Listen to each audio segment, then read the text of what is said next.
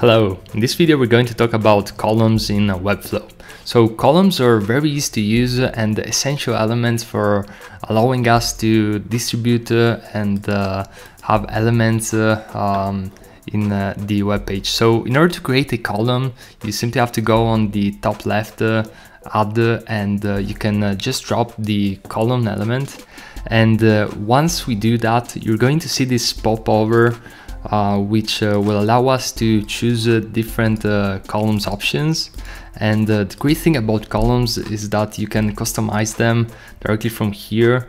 So for example, uh, we can select the width of the column. And if you click on the show all settings, you're going to see on the right even more options to customize and tweak the columns and uh, there's some really uh, important and useful options for the tablet and the mobile versions but uh, we're going to discuss about these later during this course and um, in order to add the elements to the columns it's very easy you simply have to um, drag and drop it on uh, top of it or you can also use the navigator and uh, one important thing, uh, if we actually go onto the navigator, is that uh, columns are always inside rows.